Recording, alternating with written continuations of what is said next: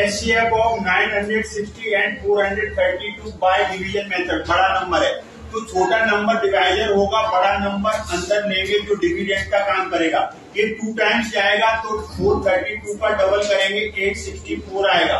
अब इसको माइनस करेंगे तो माइनस करने से यहाँ 96 आएगा। कितना आएगा? 96 अब 432 को डिवाइड करो। ये फोर टाइम्स जाएगा। तो 96 फोर जा। 384 आएगा। अब इसे माइनस कर दो। माइनस करने से 48 आएगा। अब जो रिमाइंडर है लास्ट डिवाइजर डिविडेंट हो जाएगा। 48 टू जा 96 और माइनस करेंगे ज़ीरो एस लास्ट डिवाइजर होता है 48 तो यहाँ पर रिमाइंडर 96 आया, वो डिविडेंट डिवाइजर बन गया। डिविडेंट डिवाइजर बन गया 432 पिछला वाला। अब ये 48 रिमाइंडर डिवाइजर बन गया 96 डिविडेंड बन गया। तो रिमाइंडर ज़ीरो आ गया। इस तरीके से हमने एस निकाल